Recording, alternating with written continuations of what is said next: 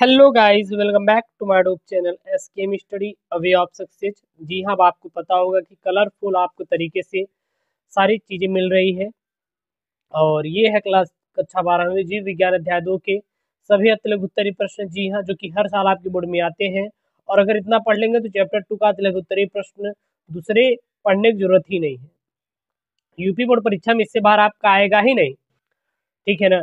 क्योंकि एनसीईआरटी से मैं बता रहा हूँ, जो प्रश्न बार बार पूछे जाते हैं, उन्हीं प्रश्नों को डिस्कशन करेंगे। और हाँ यदि आप इसका नोट्स पाना चाहते हैं नोट्स पाना चाहते हैं तो S K M study Telegram को ज्वाइन कीजिए। एम स्टडी टेलीग्राम पे इसका नोट्स पीडीएफ में भेज दूँगा। Link in the description box description box के अंदर लिंक दिया गया है तो जाके ज्वाइन कीजिए yes K M study Telegram channel को, ठीक है? यहाँ पे है पुष्प में पुष्प। तंतु। पुष्प में पुष्प दल है यहाँ पे। पुष्प दल। सॉरी मिस्टेक हो गया है। पुष्प में पुष्प दल का सर्वाधिक आकर्षक भाग है। यानी जो पुष्प में पुष्प दल होता है या फिर जो दलपुंज होते हैं, वो क्या होते हैं? पुष्प का बहुत ही सर्वाधिक आकर्षक भाग होता है। यानी कि आप देखते होंगे, बहुत ही यह अच्छे प्रकार का दिखाई देता है कलरफुल तरीके से। जो बहुत ही सुंदर सुंदर होता है, ठीक ना? सुंदर एवं रंग है, तथा सुगंध रहित होता है, इसमें सुगंध नहीं होता। कि होता है? बिल्कुल रहित होता है। एक युक्त होता है, दूसरा क्या होता है? रहित होता है। इसी के द्वारा पराकर्ताओं को आकर्षण होता है, यहाँ पे होना चाहिए, युक्त होता है। थोड़ा मिस्टेक हो गया यहाँ पे। युक्त होता है, ठीक है ना? युक्त होता है, क्योंकि टाइपिंग हो रही है तो उसमें मिस्टेक कर दे रहे हैं ना? इसी के द्वारा परागकर्ताओं का क्या होता है? आकर्षण होता है ताकि परागण की क्रिया संपन्न हो पाए। अब हम इसको अच्छी से जानते हैं। तो प्रश्न ये पूछा गया था यूपी बोर्ड परीक्षा 2020, 19, 17, 18, 16, 15 के अंदर कि पुष्प दल के क्या कार्य है? तो जो पुष्प दल होता है इसका मुख्य कार्य हो कार्य होता है परागण क्रिया को संपन्न कराना। पुष्प दल का कार्य क्या होता है? मुख्यतः परागण की क्रिया को संपन्न कराना होता है, अगर उस उस टाइप से देखें तो। इसके बारे में थोड़ी डिफिनीशन देख लेंगे तो बहुत ही सुंदर एवं रंगीन भाग होता है तथा यह सुगंध युक्त होता है।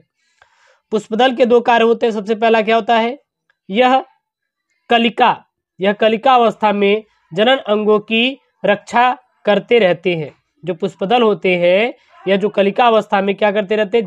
जनन अंगों की रक्षा करते रहते हैं। और दूसरा यह कीट परागण में बहुत ही सहायक होती है। कौन होती है? पुष्पदल। जो पुष्पदल होता है, सबसे पहला यह कि जनन अंगों की रक्षा करता है, दूसरा यह कीट परागण में क्या होते बहुत ही सहायता करते हैं। अगला प्रश्न है यहाँ पे, पालिगोनम प्रकार के भ्रूणकोश में कितने केंद्रक होते हैं? स्पष्ट कीजिए। तो पॉलीगोनम प्रकार के भ्रूणकोश में कितने केंद्रक उपस्थित होते हैं? तो पॉलीगोनम प्रकार के भ्रूणकोश में कुल आठ केंद्रक तथा सात कोशिकाएँ उपस्थित होती हैं।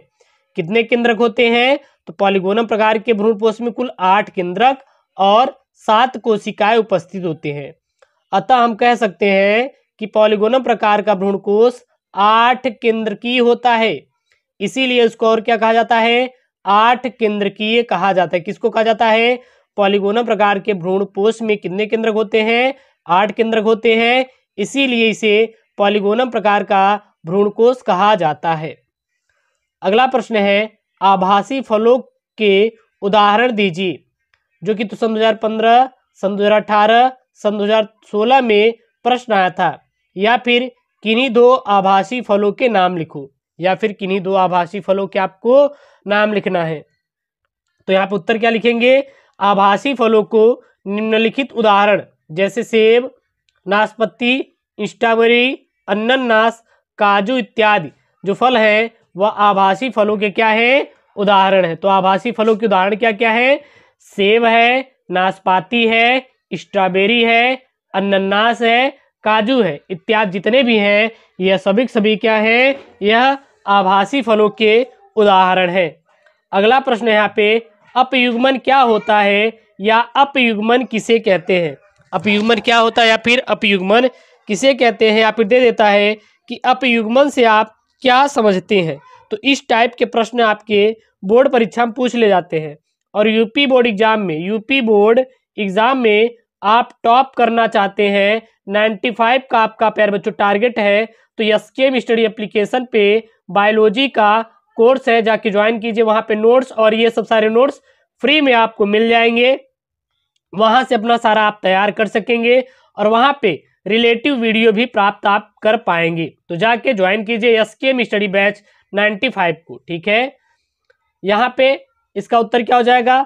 जब भ्रूण कोष के अंड कोशिका को छोड़कर, जब भ्रूण कोष जो होता है अंड कोशिका को छोड़कर भ्रूण कोष की सभी कोशिका से, यानी कि भ्रूण कोष के अंड कोशिका को छोड़कर भ्रूण कोष के अंड कोशिका के छोड़कर भ्रूण कोष की किसी भी कोशिका से, बिना निषेचन के भ्रूण का विकास होना अपयुग्मन कहलाता है। याद रखना, अपयुग्मन क्या होता है?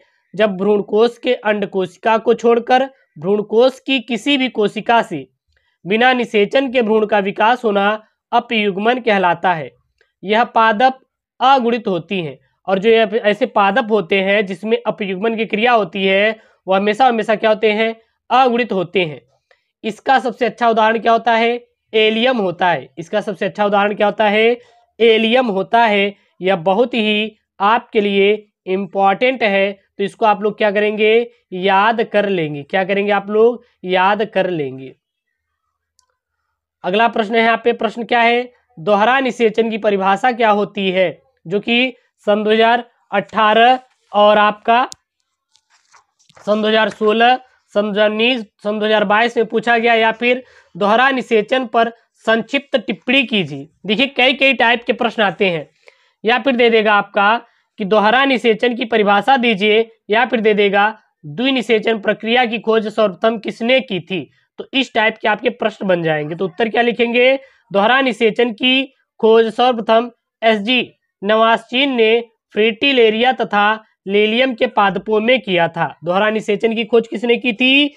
दोहरा निषेचन की खोज सर्वप्रथम एस जी नवासचीन ने फ्रेटिलेरिया तथा लीलियम के पादपों में किया था। आवृत बीजी पौधों में पराग कण की जनन कोशिकाओं से बने नर युग्म में एक से से एक अंड कोशिका से तथा दूसरा नर युग्म द्वितीय केंद्रक से सम्मिलित होता है और इन्हीं की क्रिया को क्या कहते हैं? दोहरा निषेचन कहते हैं। अगला प्रश्न बहुत इंपॉर्टेंट क्या है? परागण क्या होता है? सन 2020 सन 2019 सन 2016 आपके प्रश्न आया है, जो कि काफ़ी क्या है आपका इंपॉर्टेंट है। तो परागण क्या होता है? तो पराग कणों का, पराग कणों का पराग कोष से निकलकर उसी प्रजात की, उसी प्रजात की पुष्प के वर्ग वर्तिकाग्र तक स्थानांतरण को ही क्या कहते हैं? परागण कहते हैं। परागण मुख्यतः दो प्रकार का होता है। पहला क्या होता है? स्वपरागण दूसरा होता है आपका पर परागण तो परागण कितने प्रकार का, दो प्रकार प्रकार का होता है? स्वपरागण और पर परागण होता है। अगला प्रश्न यहाँ पे जलीय परागण करने वाले पौधे के नाम लिखिए। सन 2018 सन 2020 में आया हुआ है। तो निम्नलिखित पौधों में जलीय परागण होता है, जैसे हाइड्रीला, वेलिसनेरिया, जोस्टीरा इत्यादि में क्या होता है? जलीय परागण होता है और काफ़ी इंपॉर्टेंट है। अगर इसको तैयार लेंगे तैयार कर लेंगे तो यहाँ से आपके ज़रूर से ज़रूर प्रश्न फंस जाते हैं। इसलिए आप इसको पूरा कंप्लीट तैयार कर लीजिएगा। तो यहाँ पे आपका अगला प्रश्न है, प्रश्न क्या है? यहाँ पे प्रश्न है कि गूदेदार, फल के दो लक्षण लिखो तथा आम के फल की अनुप्रस्थ काट का चित्र का नामांकित चित्र बनाओ। सन 2020 सन 2019 सन 2018 में ये प्रश्न पूछा गया है। तो गूदेदार फल के दो उदाहरण आपको लिखना है। तथा आम के फल की अनुदैर्ध काट का क्या बनाना है? चित्र आपको बनाना है।